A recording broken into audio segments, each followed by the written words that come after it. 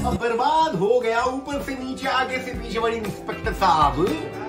नारियल का तेल और जवानी का मेल। और वहाँ पे पैन करना चाहिए।